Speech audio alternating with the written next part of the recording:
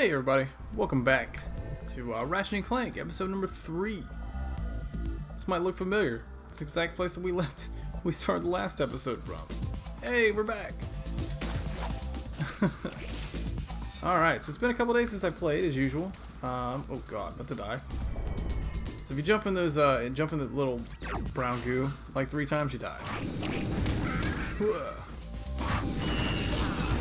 Excuse me. So, you're gonna have to bear with me for just a little bit while I re, re, re, re, re remember the controls. Whoop, excuse me. Because yeah, uh, I want to say there's like a secret uh, gold bolt around here. Let me see. Nope. Nope. Maybe I'm losing my mind. I could have sworn there was one around here though. Excuse me. Let's do, let's just use the blaster. Be done with this. All right. So, remember from the last episode that we had uh, gone to Planet Kerwan for a little bit, um, we got the slingshot, so that allows us to go on the uh, the uh, other side of this level here. And not the slingshot, it's the swing shot. Excuse me. I need to make sure that I'm correct every time that I say something. Very important. Uh, but anyways, so nice to be back playing these games again. I love it. These put a smile on my face because sometimes when I do my backlog series, it can get a little frustrating, um, get a little irritating, uh, mostly because it's games that I've never played before. And anyone who's ever jumped into a game the first time, there's going to be moments like that. Because you're inexperienced with the game, you don't really understand it, and well, that's just how it goes. So when I jump into games like this, games that I played and games that I love and like enjoy it, kind of it's it's so much more relaxing. I mean, at least for me, when I go and edit videos, I can definitely tell a difference between how I am. Tell me this long to teach me how to control the camera. I say I can definitely tell the difference between me when I do these videos and me when I do the uh, backlog series. It's a little bit different me.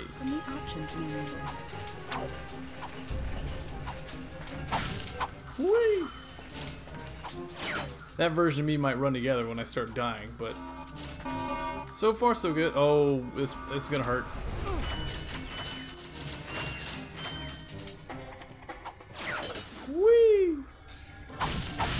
Swing shot, so much fun. Excuse me.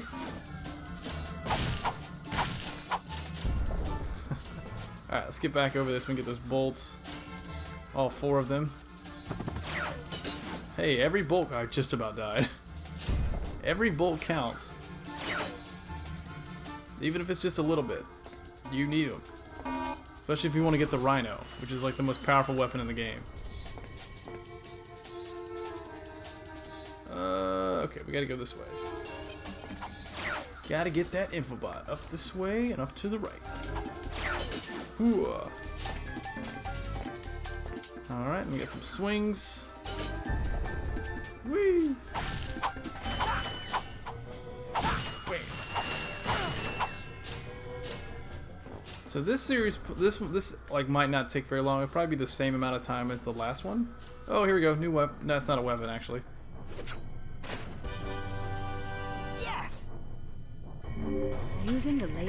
Precision laser technology, the Gadgetron Trespasser is guaranteed to work on Gadgetron's line of Invinso lock security doors. So this thing basically just allows you to get into secret doors. Or doors that you otherwise would not have been able to get into. Lasers are mounted on each ring of the Invinso lock. Aim the lasers at the receptors on the outside ring to turn them green.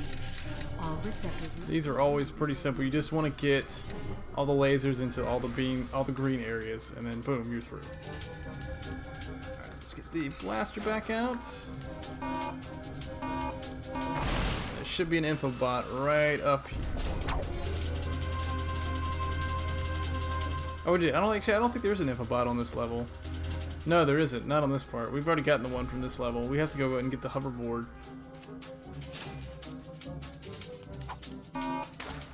Oh, I'm gonna die.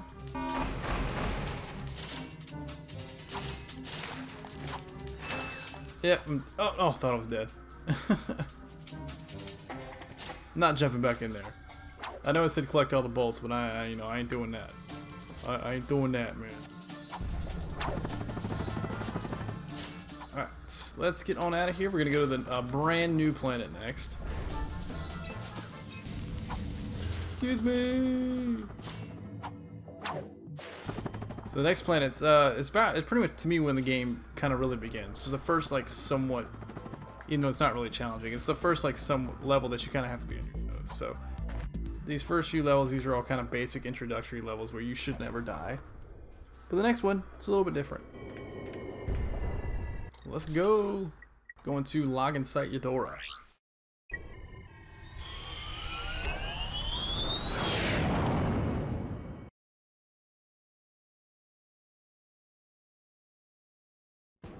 Yes, quite lovely. That should just about do it. Commander, we are finished with this world. Commence towing our planet to its next destination. Lieutenant! Yes, sir. You have fulfilled your tree quota. Barely. We are ready to return to base. Not so fast, Lieutenant. Just because we don't need any more trees doesn't mean they should have them. Destroy everything.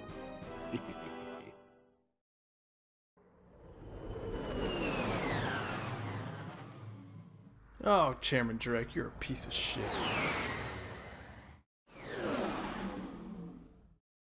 Stupid Drek.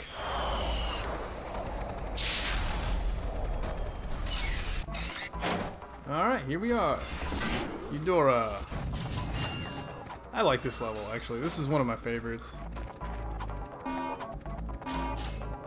In this game, anyway the the planets and stuff get so much better, especially when you to Ratchet and Clank um, up your arsenal is probably my favorite. Um, that's the third one. We'll do that a little bit later. Gadgetron vendor, we need to max out my ammo for you today. Yeah, we can get a Glove of Doom here soon. That's a fun weapon to have. Don't really get much ammo with it, but it's a pretty awesome weapon. We don't have anywhere near enough bolts to Okay, let's go over this way first. Take these bad boys out. Excuse me. Alright, woo! Actually, there was actually zero reason to go over there. So, I remember one of the skill points that you get, which are kind of like secret... I don't know they are pretty much trophies, but I don't remember what exactly what the skill points are for, but um, you basically have to shoot all of these flying robots down. So once you do that, you get one. That's that's one I do remember. Oh, turn the screw.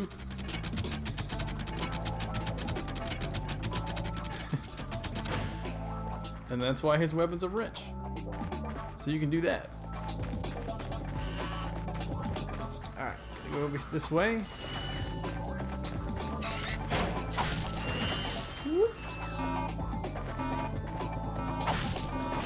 Hopefully I'll get enough bolts in this level so I can get the Glove of Doom. It's a pretty hilarious weapon, actually. it's the one that I remember anyways, but yeah, it's been a couple years since I played this game, so...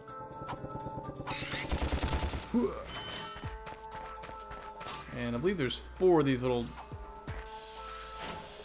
screws we gotta turn here. This is just a free... Some extra bolts and whatnot. Every bolt counts. Make a t-shirt that says that or something. Alright, down we go! Take him out!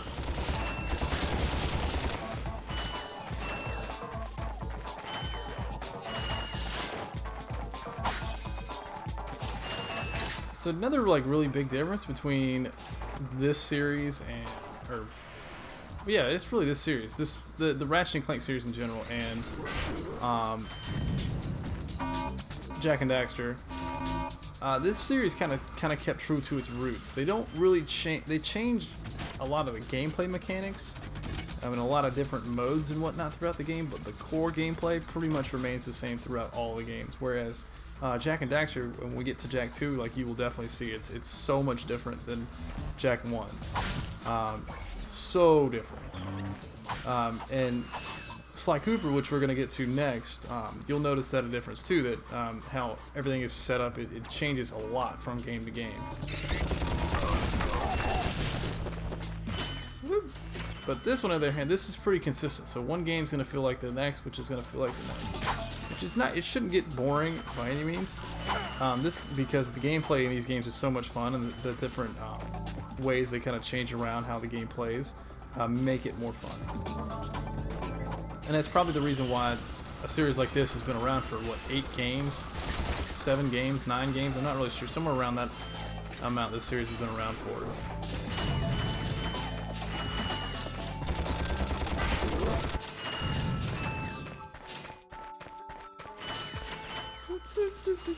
Collect the boats. Maybe it's just me, but playing game, playing this game makes me want to like go out and play with screws. Uh, that's not that's not what we're looking for. go out and just you know screw some things in, blow yourself up with TNT crates. You know things like that. It's pretty fun. All right.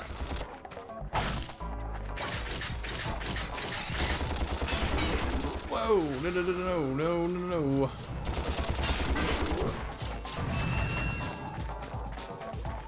This way, because I believe there's one more. Ah, this guy's irritating. Most because they just take a couple hits. See, look, I'm already about out of ammo. So I wasn't lying when I said earlier in the series that you do run out of ammo very, very quickly, so you do have to manage your weapons. You can't just really run around with one. Even though the blaster to me is by far my favorite, and this one I'm going to use the most, you'll probably see that. You'll see it more than probably any other weapon in the game by a long shot. But we need to get up top there. Let's see if I can just... Yes, yes you can. Excuse me? Don't believe there was any other any other point to get up here other than to grab some more bolts. So that's all we're gonna do. Oh yeah, get these crates.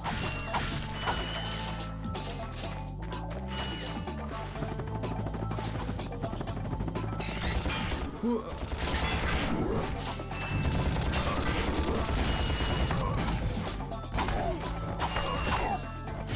my I think for the RFG series that we're going with, I think I'm going to keep continuing. Like I said, I've said in the past, we're going to do all the platformers. That is a guarantee. That will be done first. Um, after that, uh, I want to kind of, I definitely don't want to do a platformer for quite a while.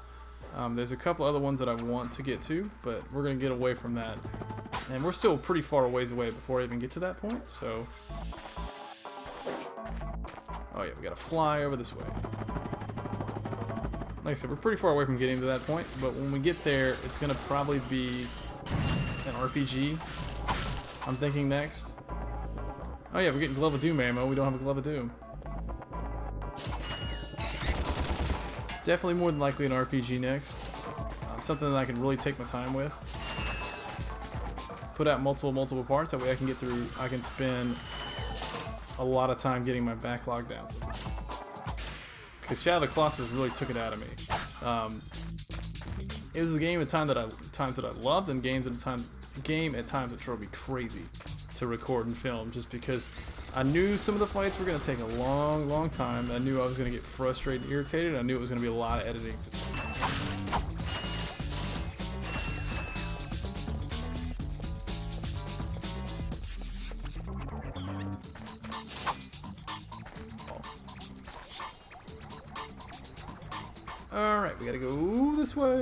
Woo!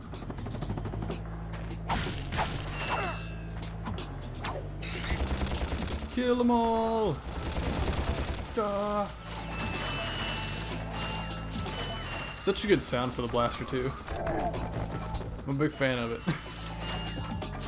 Alright, almost got enough of that Glove of Doom. You'll also notice as, as we go to the, the higher, higher levels, each of the bolts are, are worth more. So you're not just collecting one at a time. Eventually they'll start to be worth, worth like 5 or 6 or 10 or 15 or Oh, we get the vacuum one next. I'm not really a fan of this gun. I don't use it very much. But, you know, just for show, I'll, I'll use it for a little bit so you guys can see what it does.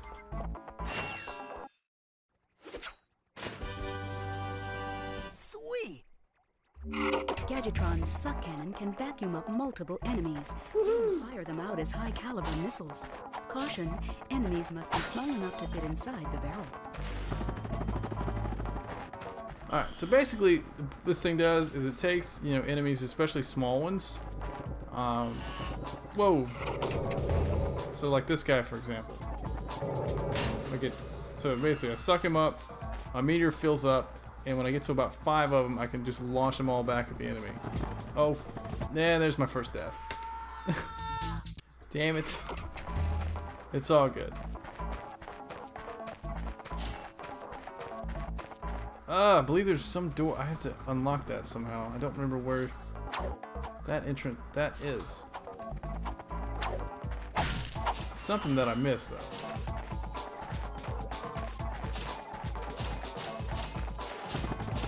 Ah, this is it right here. This is where you're supposed to go. That's where you come out. Nope. Click. Equip the trespasser. Let's do this real fast.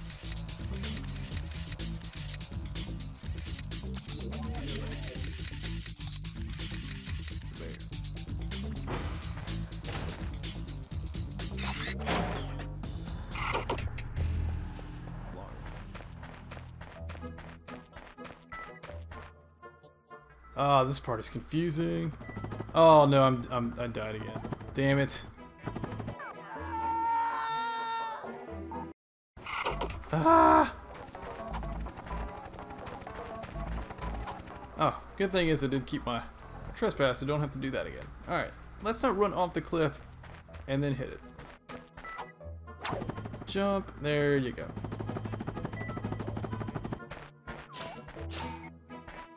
Over this way. And then screw this in. Then swing shot out. And then over here. And then screw this one in.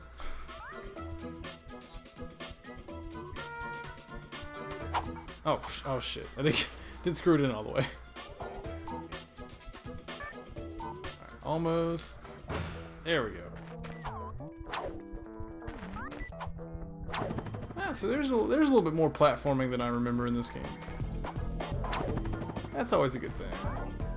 To me, to me, this game, these games are definitely more action-based, though. Oh, I thought was thought I wasn't gonna make it there for a second. All right, I believe this is where the info bot is.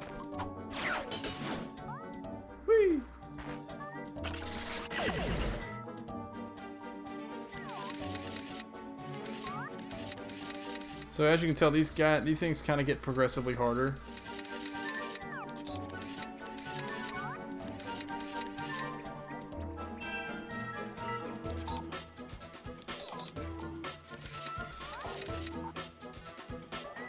Yeah, they need to go there.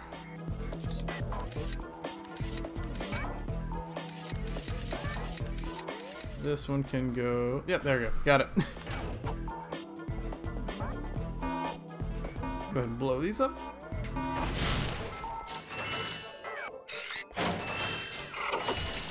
Gotta remember, I gotta use the suck cannon. Hey, Lieutenant, how you doing?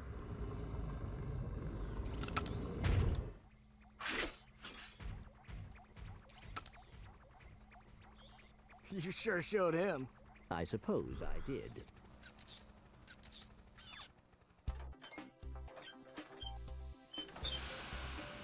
Is your current occupation leaving a rotten taste in your mouth? Then you need to know about BTS, Blarg Tactical Research Station. Hi, I'm Supreme Executive Chairman Drek, and we here at BTS are seeking motivated individuals to fill positions in these exciting careers. Grind boot tester, warhead assembly technician, mutant animal husbandry, robot repairman, suck cannon test dummy, and administrative assistant. So call BTS. Build our weapons while you build your future. I'm calling BTS today. Now we're talking. Did you see all the cool gadgets they're making? Let's go get some. No, we must continue our search for Captain Qwark. You're absolutely right. I am? Sure, we need to find Qwark. Although when we find him, wouldn't it be nice to be able to tell him where Chairman Drek is? I suppose. Well, we go to the space station and talk to the scientists. They work for Drek, so they're bound to know where he is. I am unsure about your logic. Ah, you think too much. Come on, let's go. I love all the infomercials for their products and whatnot. It's pretty, it cracks me up, man.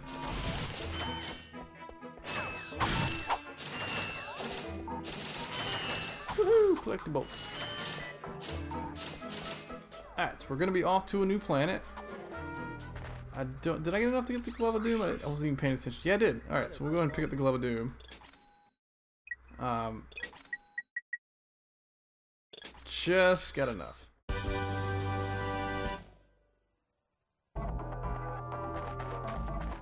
We'll show off these weapons on the next planet. All right, let's go.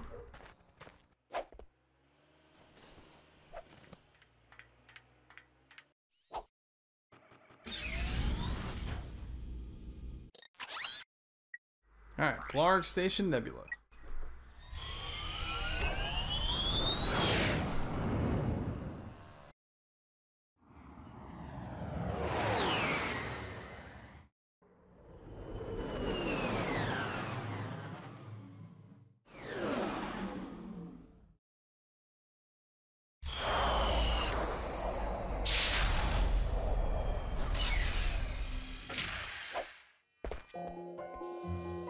Alright guys, this is where we're going to end. Uh, we'll catch you guys on the next one.